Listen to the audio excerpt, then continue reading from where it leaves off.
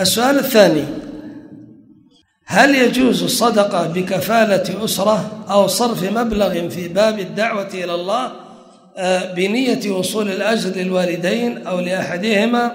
وهل يجد يجدد النية في كل شهر أو تكفيه نية واحدة في أول شهر يدفع فيها ويتصدق هل يصل الأجر للوالدين؟ نعم يصل الأجر للوالدين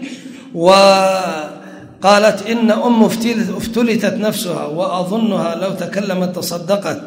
أتصدق عنها؟ قال نعم تصدقي عنها. فالأجر يصل إلى الوالدين بإذن الله. بارك الله فيك. بالنسبة لتحديد النية هذه لا تحتاج إلى أكثر من استحضار. أنا ما سأعطي المال في يدي وأنا لا أدري إيش هو. لا بد أن أكون مستحضرا.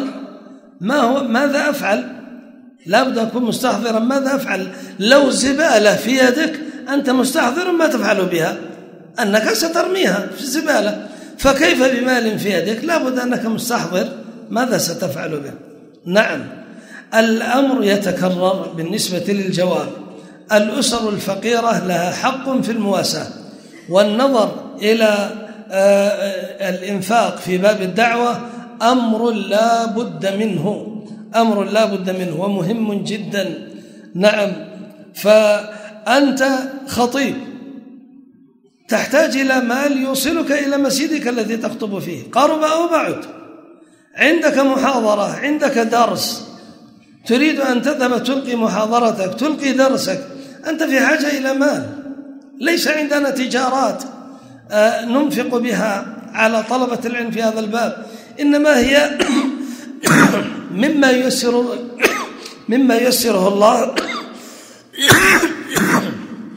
من أبواب أموال الخيرين الفضلاء. أنا أتبرع بشيء من وقتي أو بوقتها وهذا يتبرع بشيء من ماله هذا يتبرع بشيء من جاهه هذا عنده سيارة يحمل عليها هذا عنده دباب موتور يحمل عليه. كل واحد مأجور كل واحد مأجور. يعني المؤمن للمؤمن كالبنيان. يشد بعضه بعضا. نعم. إذا جاء وقت أن الخطيب يريد أن يخطب ما عندي ما أعطيه. قد أقول له اجلس. ما, ما, ما عندي. ما أستطيع.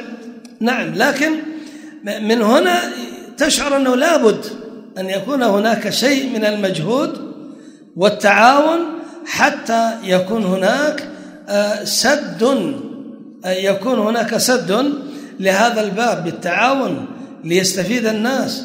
مسجد فيه قدر مئة مئة وخمسين مئتان ألف شخص. آه، يصلون ظهرا أو يخطب بهم من لا يحسن.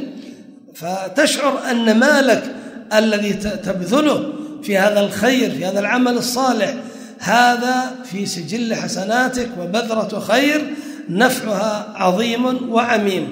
وأنبه أيضا أن لا تنسى الأسر الفقيرة. إذا استطعت أن تصل إليهم لا عن طريق الجمعيات فالجمعيات قطاع طريق بين المحسنين والمحاويج. الجمعيات قطاع طريق بين المحسنين والمحتاجين. والف... ال... ال... ال... نعم العاملون عليها يستفيدون أكثر من الفقراء. العاملون عليها مستفيدون أكثر من الفقراء.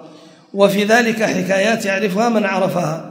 المهم ننصحك إذا أردت أن تصل إلى تعطي أموالا للفقراء أن تتعرف عليهم بنفسك. إلى هنا والحمد لله رب العالمين.